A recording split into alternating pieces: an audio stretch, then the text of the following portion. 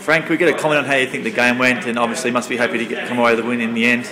Yeah, look, I thought in the end we put together some some good passes that, that got the penetration and, and, and you know, we converted about four opportunities, I think, in the last 15 minutes. It took us a while to get out their defence, and equally I thought their pace and their skill when they were running at our defence caused us a few problems, and uh, maybe we didn't recognise the danger early enough, but uh, really pleasing that uh, Casey stepped up through the midfield.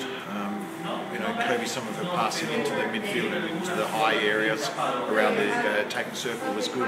So, you know, some good things to come out of it, but Yeah. there is a lot of things. You mentioned Casey and Kobie. I also thought Georgia Nanscawen did a couple of good Yep. things in play, played one of our better games.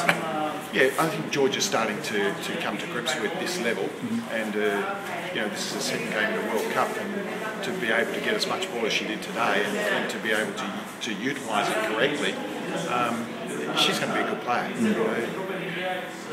Hopefully, she can eventually add some goal scoring to her sort of repertoire of skills, and uh, when she does that, she'll be a really dangerous player.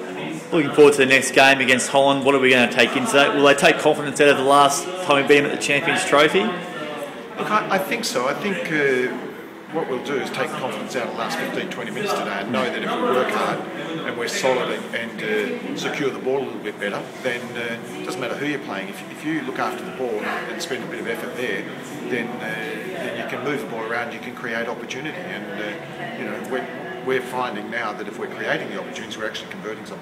And to score six goals when goal scoring's been a question, Mark, that must, be really pleasing and give you some confidence that we can score when the chips are down.